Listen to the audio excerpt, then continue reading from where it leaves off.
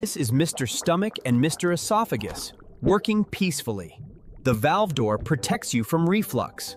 Everything is running smoothly. But bad guys are lurking. I am Mr. Crispy Fry, the enemy of digestion. I have three moves to destroy your stomach.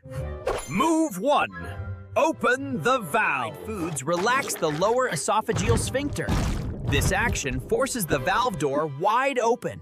Food stagnates and acid starts to reflux up, making Mr. Stomach feel indigestion and Mr. Esophagus a slight burn. And here is.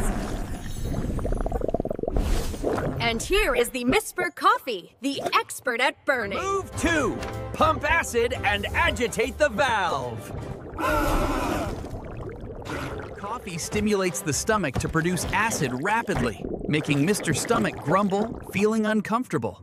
At the same time, coffee relaxes the sphincter, making acid reflux more intensely, causing esophageal burning and Mr. heartburn. Esophagus is being burned. Continuous acid reflux causes burning and discomfort. It burns. And here is Missy Orange, the acid enhancer. Move three.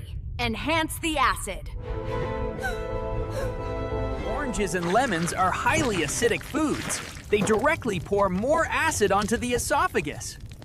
Acid fire flares up violently, causing a burning throat, violent coughing, and chest pain. The room has turned into a battlefield. The digestive system is completely destroyed. Mr. Stomach and Mr. Esophagus are now exhausted, in pain, and cannot function normally.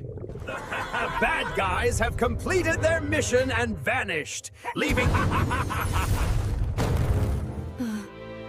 This is the consequence of gastroesophageal reflux disease. Mr. Stomach and Mr. Esophagus are crying for help. Help them by. Eating more alkaline, easily digestible, and fiber rich foods.